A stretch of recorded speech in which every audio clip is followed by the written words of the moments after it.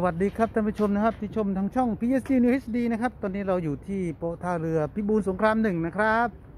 ตอนนี้เราก็มาาพาท่านมาชมนะฮะการที่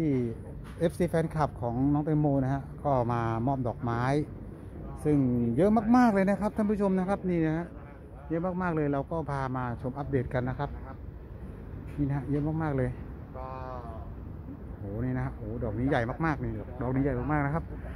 วันนี้เราก็มาวันที่ 8 นะครับ ดอกไม้ก็